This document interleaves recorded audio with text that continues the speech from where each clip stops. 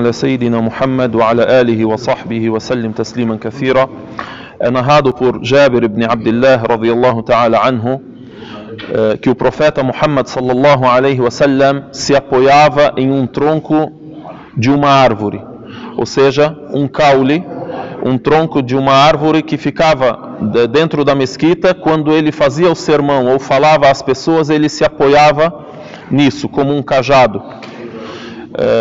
como a gente sabe, a mesquita do profeta alaihi salatu wassalam era a sua cobertura era apoiada sobre troncos de árvores. Então o profeta sallam se apoiava em um desses troncos. Então, quando foi feito um púlpito para o profeta alaihi salatu wassalam, depois disso foi feito um púlpito no qual ele podia subir e também no qual ele sentava. Quando foi feito um púlpito para ele e ele estava sobre o púlpito, nós ouvimos aquele tronco emitir um som como a voz da camela prenha em seu décimo mês de gravidez. Então o profeta alaihi salatu wassalam colocou a sua mão sobre o tronco e ele silenciou, ou seja, esse tronco silenciou. Esse hadith foi narrado pelo Imam al-Bukhari, rahmahullah ta'ala, e é um relato que foi narrado em vários livros da Sunnah, e é da narrativa de Jabir nesse, nesse texto. Temos também esse mesmo relato da narrativa de Anas ibn Malik, de Abdullah ibn Abbas, de Ibn Umar. Então é um relato que é, é difundido e é sem dúvida verdadeiro. É, entre os muhaddithin, os estudiosos do hadith, tem uh, o hadith que é mutawatir que, é, que significa que é muito difundido de maneira que um grupo enorme de pessoas ouviu a narrativa e transmitiu a narrativa para outro grupo enorme. De maneira que é impossível e é racionalmente impossível é, eles se unirem para mentir sobre algo. Então, esse hadith tem o nível mais alto de autenticidade e não pode ser negado. E alguém pode chegar e negar, dizer: olha, mas uh, um tronco, ouviram a voz dele, o tronco chora. Né? Então, nessa narrativa de Jeber, ele disse assim: ele emitiu um som como a voz da camela prenha em seu décimo mês de gravidez. A camela, então, os árabes na época eles ouviram, eh, eles têm esse costume de viver entre camelos. Eles sabem esse som o que que é. Então, ela emite um som de dor por causa da sua gravidez.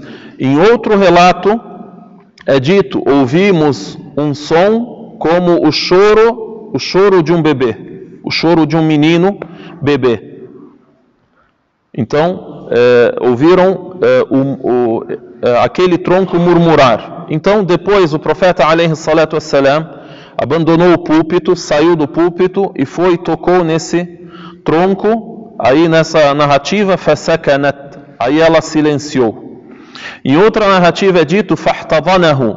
Ele abraçou o tronco e aí ele parou de murmurar ou de ter aquele som de choro.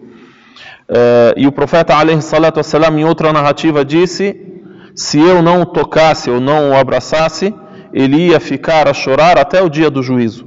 Né? Então, esse é um milagre visto, daqueles milagres que a gente classificou, que em língua árabe a gente diz al-mu'jizat al-hissiyya. É narrado que o Imam Shafi'i, radiyallahu anhu, por exemplo, ele citou sobre esse milagre. Ele disse: Allah subhanahu wa ta'ala concedeu ao profeta Muhammad sallallahu alaihi wasallam aquilo que não concedeu a nenhum dos seus profetas anteriores. Então deu ao profeta Muhammad mais milagres que outros. Então um homem disse: Deus deu a Jesus, que a paz de Deus esteja com ele, a ressurreição dos mortos. Jesus, através da ordem de Deus e do milagre que Deus concedeu a ele, ele ressuscitou o morto.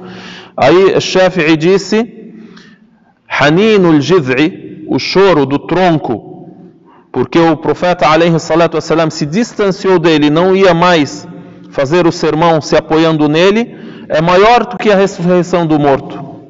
Por quê? Porque o tronco ele não tem vida inicialmente originalmente não tem vida, ele é um ser inanimado. Então Allah subhanahu wa ta'ala permitiu que ele tivesse vida, uma madeira, um tronco, teve vida nessa situação, nessa ocasião, como uma forma de milagre que Deus concedeu ao profeta alaihi salatu wassalam.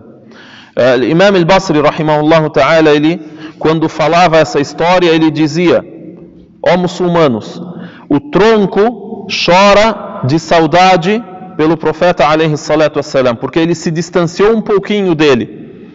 Nós, humanos, que temos alma e temos sentimento, não, não deveríamos nós chorar porque eh, queremos estar perto do profeta alaihi salatu wassalam, ele dizia isso. Então Deus Altíssimo seja colocou a vida num tronco e ele chorou por causa de sua distância do profeta alaihi salatu wassalam. Então a pessoa deve ter essa reflexão, ter o sentimento de desejar estar junto do profeta, do profeta Muhammad alaihi salatu wassalam. Como a gente disse, as narrativas são muitas e em algumas delas, inclusive os muçulmanos, os estudiosos, os estudiosos do hadith, eles não autenticam algumas. Por exemplo, é, para a gente mostrar como isso é autenticado e certificado. Por exemplo, narrativas nas quais é dito que o profeta alaihi falou com o tronco e disse para ele assim: Vou te dar duas opções, ou eu te planto onde você estava e você fica lá até o fim do mundo, ou eu te enterro e ou eu te enterro e você terá um lugar no paraíso, aí o tronco escolheu um lugar no paraíso. Isso não é sahih, não é autêntico, não é aceito. Então, as narrativas mais autênticas citam que o destino desse tronco foi que ele foi enterrado. O profeta alaihi salatu wassalam ordenou que ele fosse enterrado num lugar eh, debaixo da terra normalmente, de maneira normal. Allahu Ta'ala a'lam. Então, esse é um dos milagres do profeta alaihi salatu wassalam, visíveis e transmitidos de maneira muito difundida entre os livros da Sunnah. Allahu Ta'ala a'lam wa sallallahu ala sayyidina Muhammad wa ala alihi wa sahbihi wa sallam tasliman kathira.